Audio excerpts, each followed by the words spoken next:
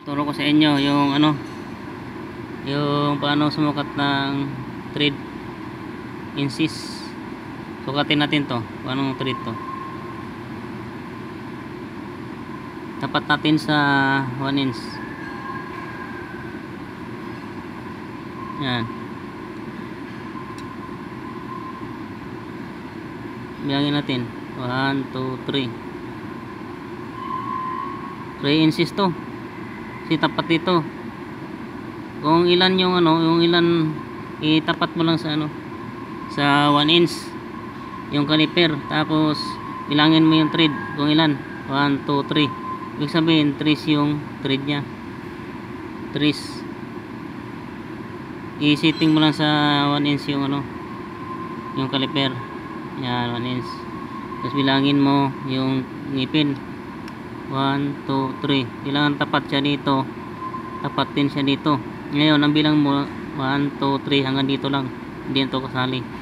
3, 3 mali ano siya? Uh, 3 inches. Uh, 3 TPI siya. Yan ang thread niya 3 TPI ganun lang mag si, ano sukat ng thread na inches. Setting mo lang sa 1 inch.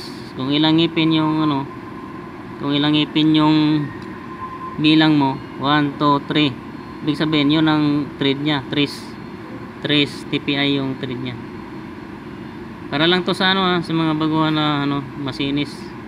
Mga baguhan. Para may matutunan naman sila. Para mayroon naman silang ano mayroon silang makikitang ano gagayahin na lang nila kung paano pagsukat ng thread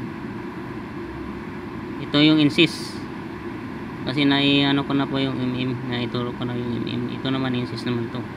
Basta mag may tapat mo lang yung ano yung caliper ng ano caliper na itapat mo na sa 1 inch tapos bilangin yung thread kung ilan.